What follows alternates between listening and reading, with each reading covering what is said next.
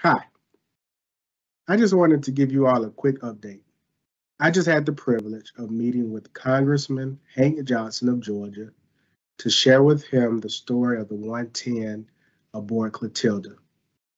I had the privilege of walking him through the two initiatives, the two initiatives that we've established for Justice for the 110. Initiative number one is Justice for the 110. We've asked the Civil Rights Division of the Department of Justice to reopen up these court cases uh, and to open up new any new court cases uh, that should be open since the discovery of Clotilda.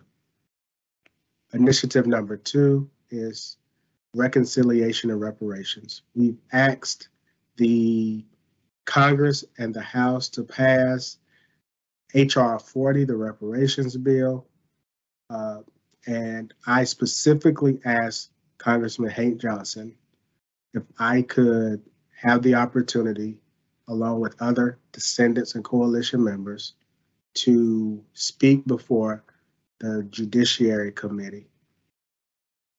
So I need you all support. If you could please go, if you have not already, sign the two online petitions. Uh, that is the Justice for the 110 and to sign the HR 40 reparations bill.